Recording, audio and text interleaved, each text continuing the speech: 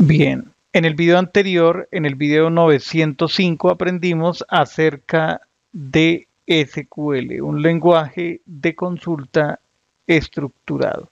Avancemos al punto número 6, operaciones relacionales. Code propuso una serie de operaciones para manipular relaciones, incluidas la selección, filtrado de registros, la proyección, selección de columnas, la unión, la intersección y la diferencia entre otras operaciones adicionales.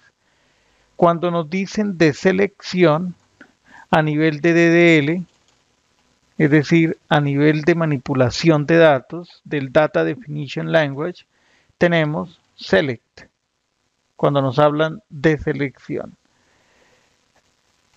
En conjunto de where. A ver, voy a mover esto un poquito para acá. Esto por un lado, cuando nos hablan de proyecciones, es decir, select, y aquí, digamos, queremos la columna A, la columna B, la columna C, etcétera. Y en lo que se refiere a unión es utilizar, por ejemplo, union, eh, realizar eh, eh, la unión de una o más tablas. Por otra parte, la intersección podríamos decir que es los join. La diferencia, em, a ver cómo podríamos eh, interpretar esta operación.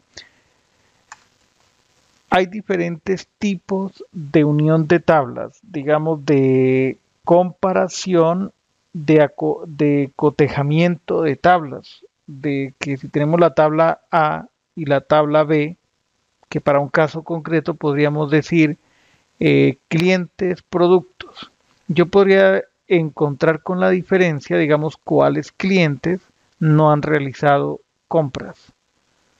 Eh, eh, no han realizado compras de productos, claro. O decir, por ejemplo, si tenemos la tabla producto, cuáles productos no han sido comprados. ¿Sí? Ese tipo de operaciones las puedo realizar. Eh, ese tipo de operaciones relacionales es posible de lograr a través de DDL es un poder inmenso. Algo que seguramente no he mencionado en los videos anteriores es la capacidad de... es la teoría que hay detrás de, de las bases de datos relacionales y es la teoría de conjuntos.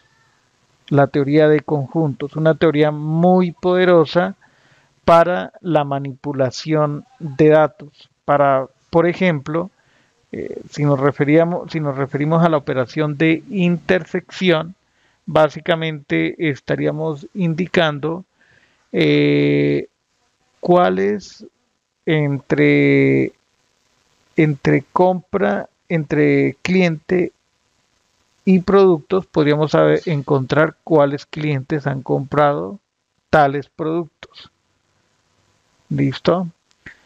Entonces podemos encontrar los elementos comunes entre dos conjuntos. La forma de interpretar una tabla es con el concepto de conjunto en esta teoría, en la teoría de conjuntos. Es el análogo. Podemos entonces eh, manifestar que este señor, Edgar Frank Coates, dominaba, tenía muy clara esta teoría matemática. Bien. Vale, entonces tenemos un conjunto de operaciones relacionales. Eh, yo creo que, a ver, em, ¿qué, más podríamos agregar de operaciones relacionales? Em, algo importante, algo muy importante, eh, es lo que está relacionado con la dificultad de escribir consultas. Seguramente al trabajar con múltiples tablas habrá em, estarán involucradas varias eh, tablas para poder obtener resultados significativos.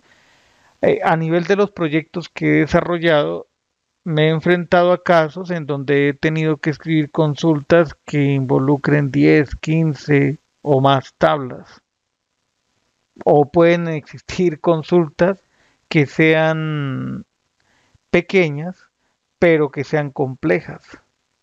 Pueden ser, digamos, breves en la cantidad de código SQL que se requiere para escribirla, pero la operación en sí es compleja, una operación de conjuntos compleja o elaborada, también podríamos decirlo de esa manera.